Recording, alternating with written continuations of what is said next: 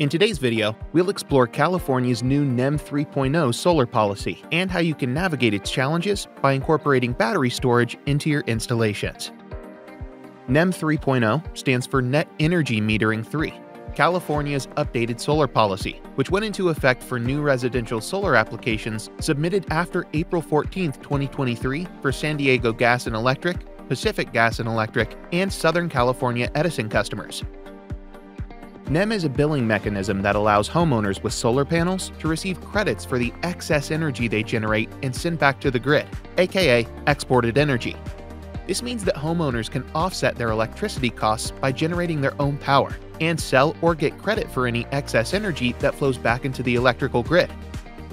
NEM 3.0 reduces the value of net energy exported by new solar customers by an average of 75%.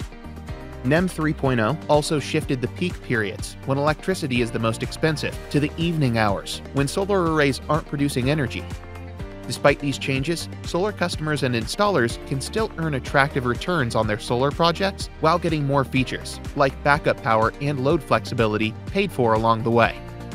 Battery storage offers a game changing solution, empowering homeowners to maximize their savings, increase grid independence, and enable optional backup power in case the utility grid goes down.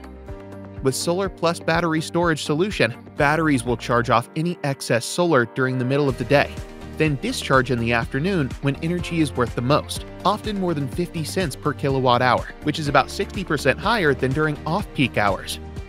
Offsetting these expensive electricity rates, which are some of the highest in the country, enable huge savings for Solar Plus storage customers.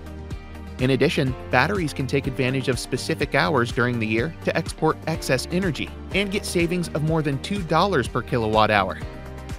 And if the power goes out, you have the option of using the battery to power essential loads like lights or refrigerators, or with enough battery capacity, even your whole house. Each installation qualifies for national incentives of approximately 30% off, including the batteries. So although NEM 3.0 does bring significant changes with solar plus battery storage, customers can still get attractive savings levels for their solar projects while enabling increased grid resiliency.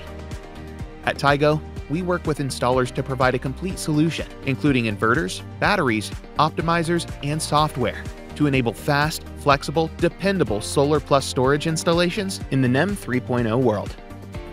Ready to overcome NEM 3.0 challenges? Contact us today to learn more about incorporating battery storage into your solar installations. Thank you for watching. Stay tuned for more informative content designed to empower solar installers like you. Don't forget to like, share, and subscribe.